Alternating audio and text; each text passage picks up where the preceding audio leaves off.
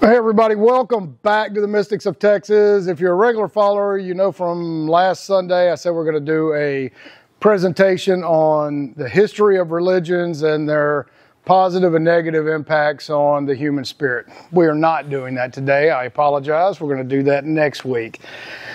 We've had some uh, fun, challenging things uh, happening in and around uh, a bunch of us lately, and I just wanted to touch on some of those things, and I thought they would be very valuable for you at home and for you know everybody here.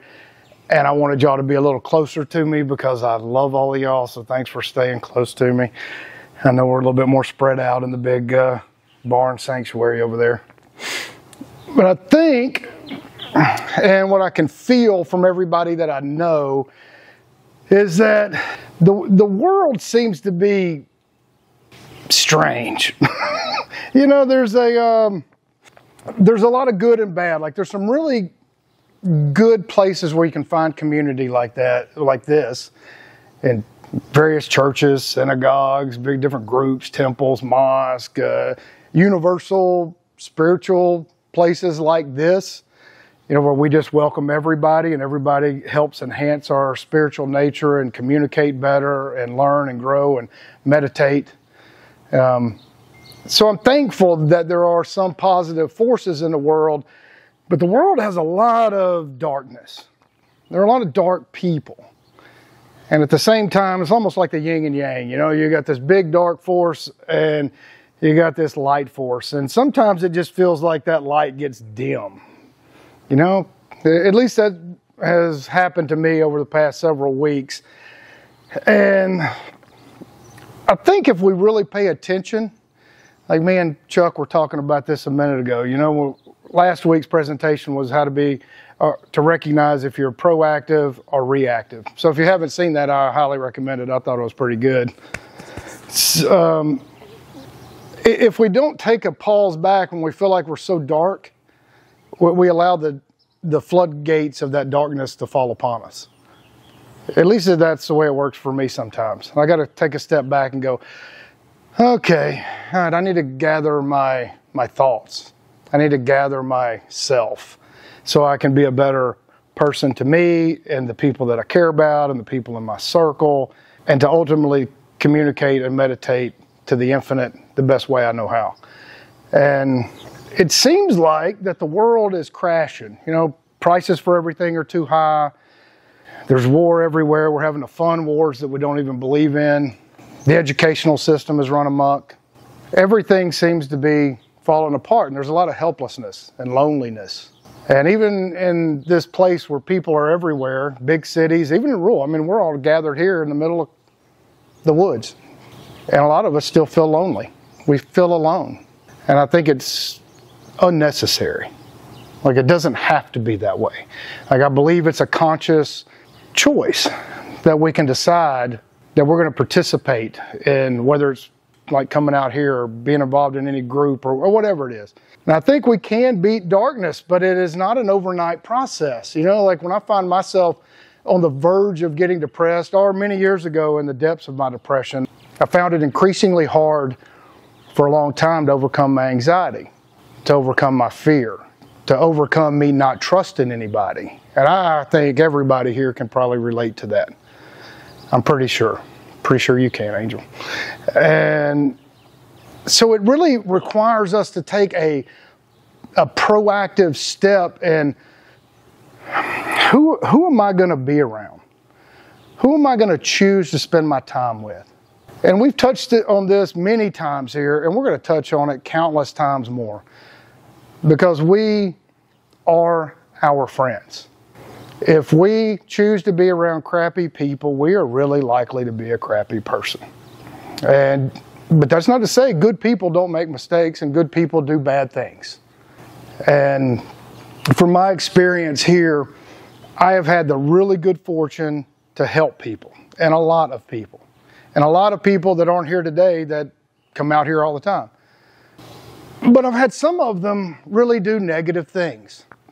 And it has affected quite a few of us that are here today.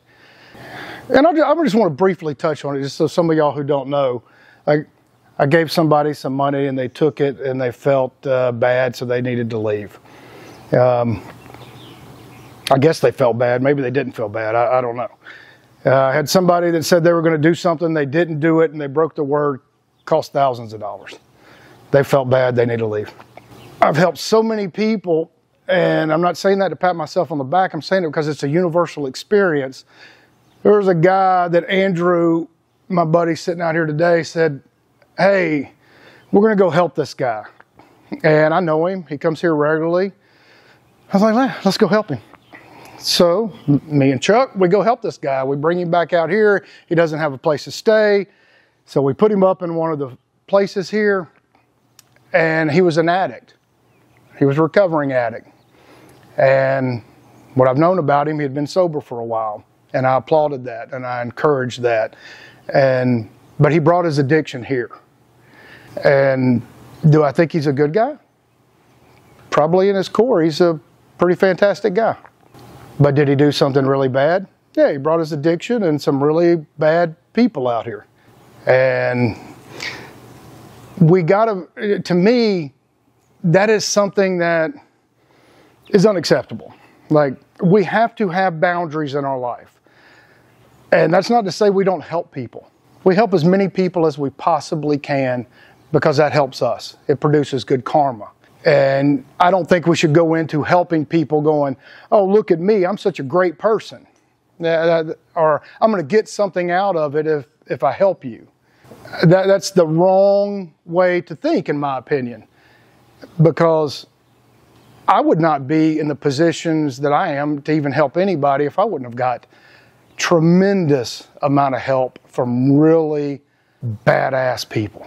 I mean, like badass men. I didn't really have any women help me, uh, just a couple.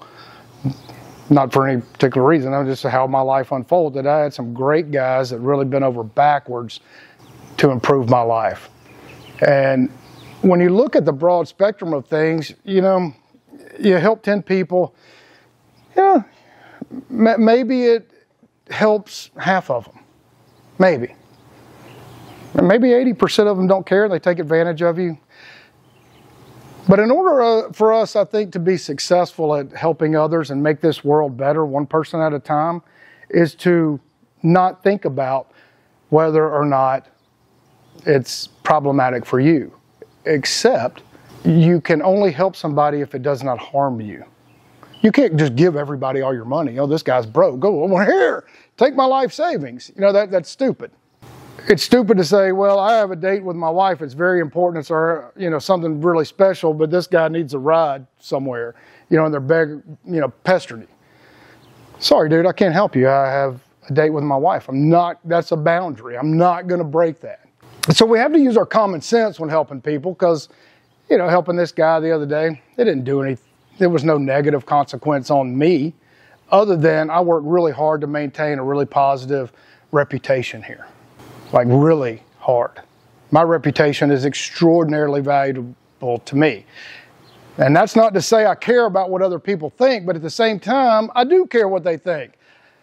Because if enough people are talking crap about you, yeah, there's probably a bunch of some truth to that. You know, if a couple of people, you know, who cares? There's always haters and, you know, whatever. So we just need to be cautious. And me and Randall have been talking, and I think this plays right into that about why there is so much like dark forces just like squashing us down. Like you see it everywhere. Most people just don't have a purpose. They have, most of them have a job they hate. Most of them are in relationships that they don't like. And they can't figure out their passion. Like, what am I passionate about? What do I enjoy doing? You know, if you don't like your job, you can take baby steps to go do something you want to do if you can find out what it is. If you're broke, you can take baby steps to figure out how to make money.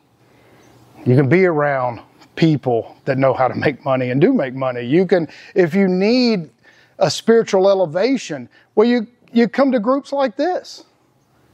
You elevate your soul by who you hang around. So whenever you are having those dark days, you're like, hey, I got a friend because I've gotten close to most of y'all here.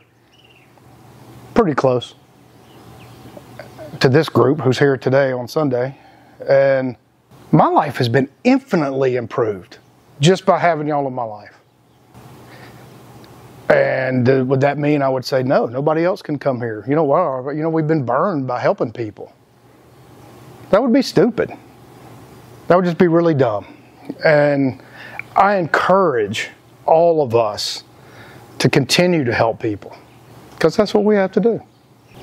And I think we need to find relationships that strengthen us in every way. And it's really difficult to do that in this world. There's negativity. People want to use us. People want to take advantage of us. Uh, I mean, how many countless times have people come out here and their only reason that they're coming is because they think, oh, well, Kevin will just make up a job for me to do out here so I can just do shit for him and, and then they'll pay me.